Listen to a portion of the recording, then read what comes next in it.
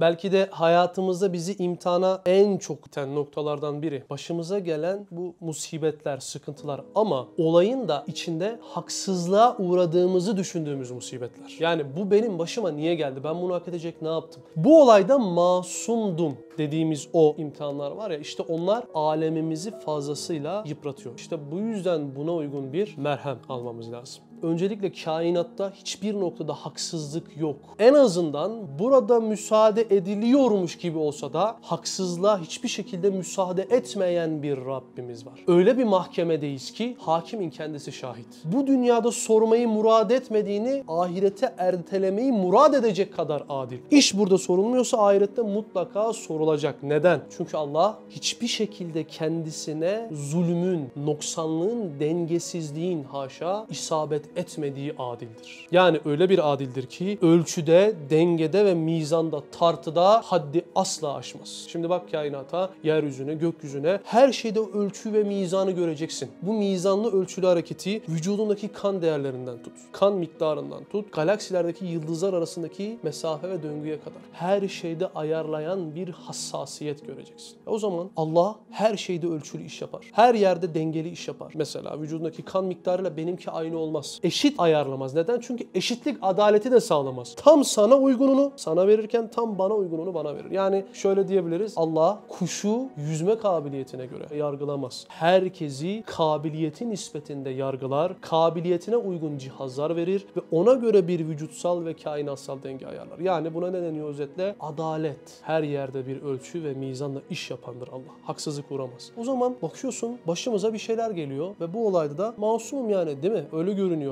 Nasıl olur da bu kadar ölçülü ve dengeli iş yapan bir zat bu işte sanki haddi aşmış gibi bana bunu yaşatır. Masum olduğum halde bu işi bana gönderir. Aslında bakın çok güzel bir vecizeyle bunu Bediüzzaman Hazretleri halletmiş. Diyor ki beşer zulmeder, kader adalet eder. Bu cümlenin üzerinde bir daha duralım. Beşer zulmeder. İnsan zulmeder, kader de bakar. Bu zulmün üzerinden ona adalet eder. Adaleti sağlar. Nasıl? Gittik böyle bir tane masum çocuğa bir tane tokat attık farz edelim. Bunun bize gücü yetmedi. Hakkını bizden alamayacak birine bir zulümde bulunduk. Bir olay yaptık, bir günah işledik. Birinin böyle parasından ufak bir üzerimize hak geçti. Birinin kalbini kırdık. Bunu türetebilirsiniz. Yani bir şekilde birilerine bir şey yaptık ve bunlar bu hakkı bizden almadılar, alamadılar. Güçleri yetmedi. Şimdi bakıyorsun burada bir haksızlık ve adaletsizlik söz konusu. Şöyle yoklayın. Kimin hayatında yok bu? Kim hayatında günahsız? Kim birinin hakkına girmemiştir? Kim birini üzmemiştir, kırmamıştır? Hayatında hiç mi günah yok? Hiç mi günaha girmedin? Mutlaka var. Doğru mu? E şimdi bak bu olayda sana bir şey yapılmadı. Bu mazlumun hakkı senden alınmadı. Ama kader adaletsizliğe müsaade etmez. Ne olur? Çıkar gelir senin gücünün yetmediği veya bir şekilde bak bu olayda ben masumum dediğin olaydaki o kişinin eli senin suratına isabet eder. Senin vurduğun tokadın, mazluma attığın tokadın bedelini başkasının eliyle alır Allah. Beşer zulmeder. Kader o başkasının eliyle işte o an adalet eder. Ne oldu? Haksızlık ortadan kalktı. Dolayısıyla burada şunu soracağız. Ben suçsuzdum. Tamam bu olayda böyle görünebilirsin ama hep mi suçsuzdun? Benim hiçbir günahım yoktu. Evet bu olayda böyle görünebilir ama hiç mi günahın yok? Anlatabiliyorum değil mi? Dua et ki bu iş burada, bu olaylar vesilesiyle bir şekilde çözülüyor. Dedik ya hiçbir şekilde nizamsız, ölçüsüz iş yapmayan zat burada bunun hakkını almadıysa kesinlikle mahkemeyi kübrayı ertelemiştir. Bu film böyle yarıda bitmez. Bir basit senarist, bir yönetmen bile filmi en böyle can alıcı yerinde tak kesip düşmanın böyle kuvvetlendiği yerde mi denir artık? Öyle pat diye çok saçma bir yerde kesip bitirmez değil mi? Onun arkasının geleceğini ya ikinci bölüm ya üçüncü bölümde sana anca müjdeler ki öyle ikna olursun. İşte bu dünyada pat diye bir şeyler bitmişse bil ki bu işin arkası devam edecek. Allah o yönetmenden daha adildir, daha hikmetlidir, daha uygun iş yapar. O zaman elhamdülillah ki bu iş büyük mahkemede çözülmedi. Anında burada halledildi. Anla ki bu işlerin hiçbirinde haksızlık yok. Çünkü dedik ya bu mahkemede öyle bir hakim var ki bütün olayları zaten sonuna kadar şahitlik ediyor. Sen de ya benim hiçbir suçum yoktu deme. Ben ne yaptım da başıma bu geldi de.